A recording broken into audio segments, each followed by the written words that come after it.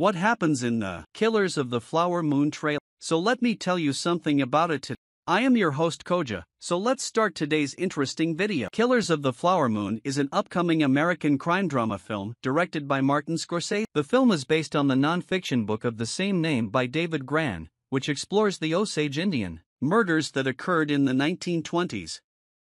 The film features an impressive cast, including Leonardo DiCaprio, Robert De Niro, Jesse Plemons, Lily Gladstone, and many others. It is highly anticipated due to the combination of Scorsese's direction, the intriguing source material, and the talented ensemble cast.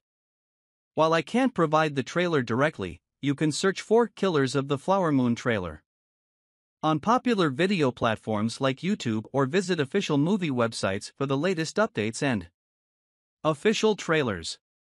I can provide you with information about Killers of the Flower Moon. Subscribe to my channel and press bell icon for more interesting videos. Thank you.